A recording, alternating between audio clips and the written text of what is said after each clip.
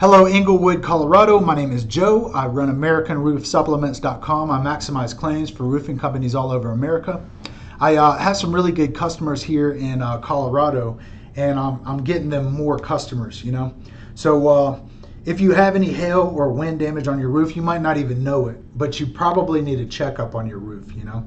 So uh, go ahead and click the link in the description um, fill out that form, watch that video, and you'll have one of my associates call you. They're going to get you set up on a new claim if you've got enough uh, roof damage. If not, then we'll just keep checking your roof three, six, 12, 18 months, you know, until you got enough, until you have enough uh, damage on your roof. So go ahead and fill out that form. If you don't have enough damage on, on it, then we can give you a, a estimate but if you do, then we'll just go ahead and get you set up through your insurance company, take you through the whole process from start to finish, and uh, you'll be satisfied with the results.